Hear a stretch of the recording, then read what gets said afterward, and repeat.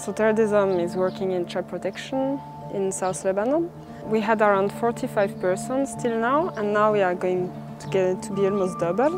So this means also a lot in terms of work, in terms of changing the project, uh, putting a, setting on uh, new activities and uh, discovering new places and so on.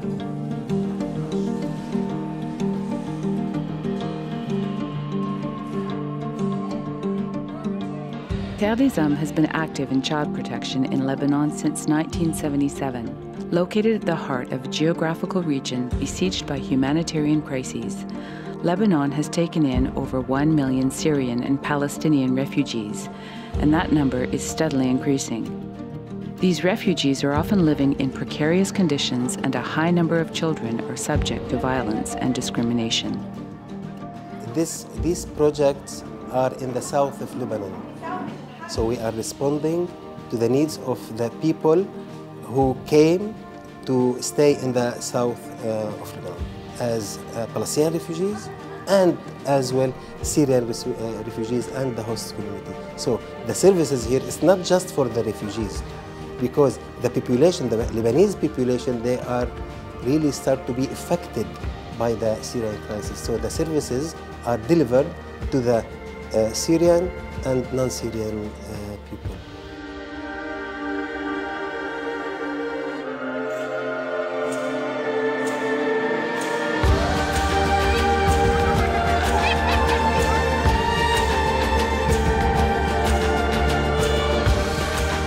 What we are doing is to provide support to these children. First, uh, psychosocial support, so helping them to to cope with what they, they saw in their life, what they are facing now, their living conditions. Aside of this, we are trying, when you have children who face high abuse, such as sexual abuse or physical violence from their families, so we are trying to, to support this child and his family or her family to ensure that this is not the case anymore, to go to the justice if necessary, to provide them with uh, basic uh, living conditions, with health support if it's necessary, for example, in terms of sexual assault.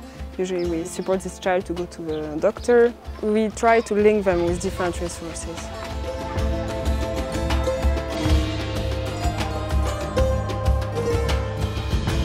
نحن نواجه الصعوبات بالنسبة أكثر شيء للسكن السكن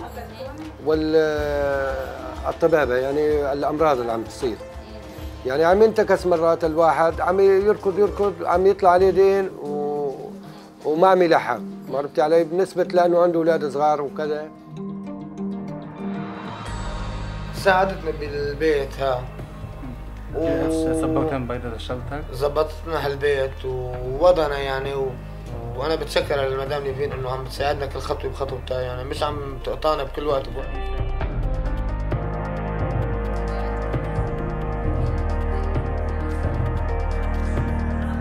We are working in uh, sensitizing the community on uh, child protection so that they can better protect their children by themselves. So we, we organize aware, what we call awareness sessions. So for example, we sit with community members on, and discuss on early marriage because this is a big issue in this country.